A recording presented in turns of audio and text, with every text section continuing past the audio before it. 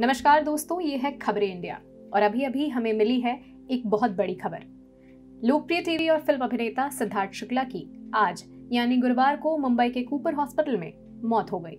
चालीस साल के शुक्ला को गुरुवार सुबह हार्ट अटैक आया था। सिद्धार्थ शुक्ला का किरदार बालिका वधु में काफ़ी लोकप्रिय हुआ था। सिद्धार्थ के घर में उनकी माँ और दो बहनें हैं। समाचार एजेंसी पीटीआई से कूपर हॉस्पिटल के अधिकारियों ने बताया कि अस्पताल पहुँचने से पहले ही उनकी मौत हो गई थी। सिद्धार्थ शुक्ला ने अपने करियर की शुरुआत मॉडलिंग से की थी। सिद्धार्थ ने टीवी शो बाबुल का अंगना छूटे ना से अभिनय की दुनिया में कदम रखा था।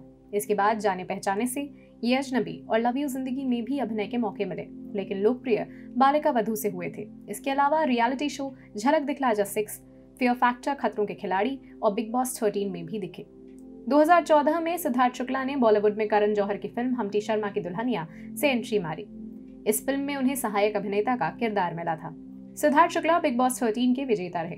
जाने माने अभिनेता मनोज वाजपेयी ने ट्विटर पर दुख जताते हुए लिखा है कि यह बहुत दुखद और हैरान करने वाली खबर है।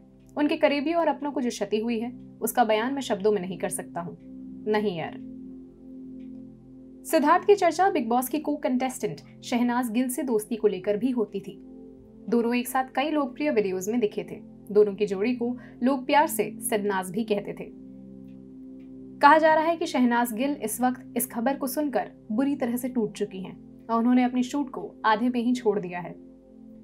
इस खबर के बारे में और जानकारियों के लिए जुड़े रहिए हमारे साथ खबरें इंडिया पर।